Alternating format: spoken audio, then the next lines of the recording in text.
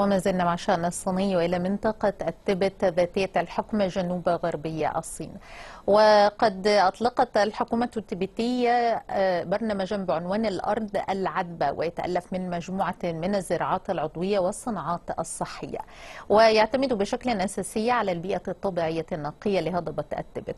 وفي هذا الإطار تعمل التبت على دفع تنمية منتجات المياه المعدنية والأغذية العضوية الصحية والمنتجات النقية للهضبة.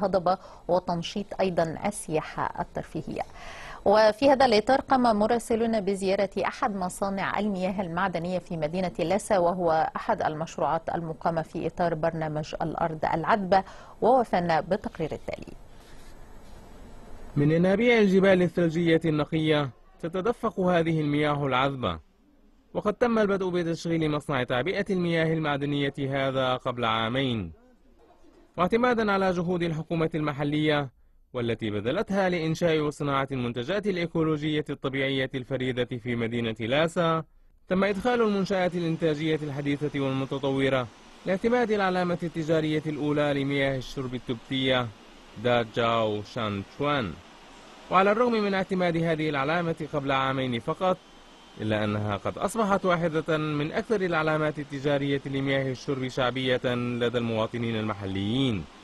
وقد أطلعنا المسؤول في المصنع على السبب الرئيسي وراء نجاح هذه العلامة والذي يرجع إلى الجمع بين البيئة النقية الفريدة في التبت وبين المعدات الإنتاجية وأحدث التقنيات المتقدمة. أفضليتنا الكبيرة تكمن في منبع الماء. يقع منبع مياه دارا شنشون ضمن النظام المائي الذهبي لجبل الثلجي يبلغ ارتفاعه أكثر من 5000 متر. بما يساعد على ضمان نقاء المنبع المائي. أما جودة المنبع المائي فتأتي من كون مياهه مياه قلوية وفقا للمقاييس الدولية مما يضمن احتوائه على أيضا معادن هامة للجسم. وكل هذا يرجع إلى المصادر الإيكولوجية النقية في تبت يعتبر مشروع العلامة التجارية تاجاو شوان واحدا من المشاريع الهامة ضمن برنامج الأرض العذبة الذي تم تنفيذه من قبل السلطات المحلية بشكل جدي. حيث خصصت حتى الآن 454 مليون يوان لتنفيذ 15 مشروعا ضمن البرنامج تعود بالفائدة المباشرة. على 14947 شخصا ينتمون إلى 4930 أسرة في لاسا. وقد سجل دخل الأسرة السنوي زيادة معدلها 6000 يوان. ومع التنمية السريعة لصناعة الأرض العذبة تزداد الفرص التجارية للشركات والمصانع المحلية في ترويج منتجاتها إلى أسواق أكبر في المدن الأخرى. ما زال مركز ثقل آمالنا التجارية في السوق المحلية أي في مدينة لاسا. ونلتزم توسيع قناة الترويج إلى المدن المجاورة وحتى المدن الكبرى مثل بكين وشنغهاي حيث نسعى للبحث عن بعض الشركاء الممتازين لترويج منتجاتنا.